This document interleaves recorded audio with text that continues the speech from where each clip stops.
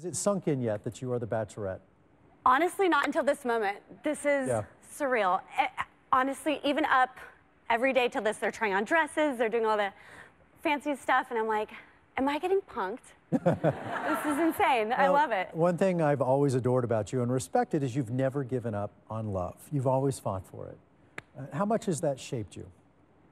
I never will give up for it. Um, to me, even more so as I developed more self esteem, more self worth, even more so, I'm deserving of it. And as everybody is. So why not? There, there we've been through a lot, uh, but there is one kind of indelible moment that really stood out to me during Juan Pablo's season.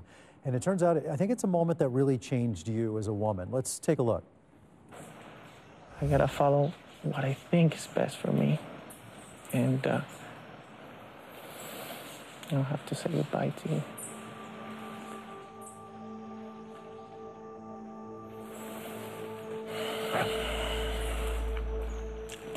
Tell me.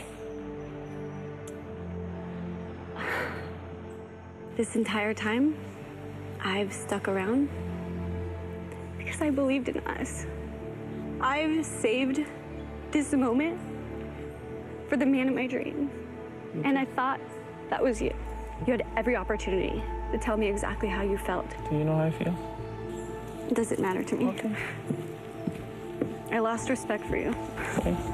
because I thought I knew what kind of man you were. What you just made me go through, I would never want my children having a father like you. Okay.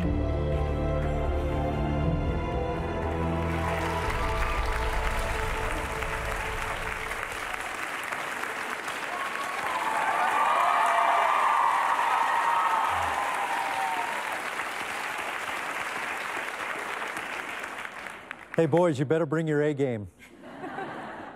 um, that moment really meant a lot, and it changed you as a woman, didn't it? Yeah, that was one of the most, if not the most empowering moments of my life. Truly. It's amazing how a moment like that, that started out probably sad, maybe heartbreaking, turned into such a powerful thing for you. Yeah, I think it's moments like that that just, as hard as they are to go through, it's times like that that just build your character and make you who you are. And I do not regret that moment, and I would not change that moment for anything. Why did it mean so much to you? It meant a lot just because I had been through some pretty terrible relationships. And I was that girl that let guys walk all over me. And I had never stood up for myself ever before.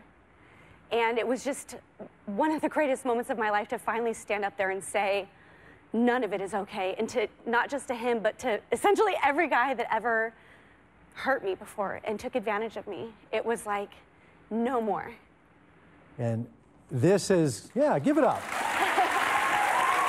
and it's led you to this moment.